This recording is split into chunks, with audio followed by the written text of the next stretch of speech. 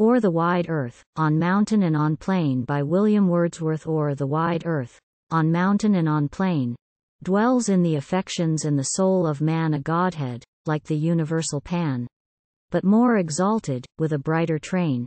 And shall his bounty be dispensed in vain, showered equally on city and on field, and neither hope nor steadfast promise yield in these usurping times of fear and pain? Such doom awaits us. Nay, forbid it heaven. We know the arduous strife, the eternal laws to which the triumph of all good is given, high sacrifice, and labor without pause, even to the death. Else wherefore should the eye of man converse with immortality?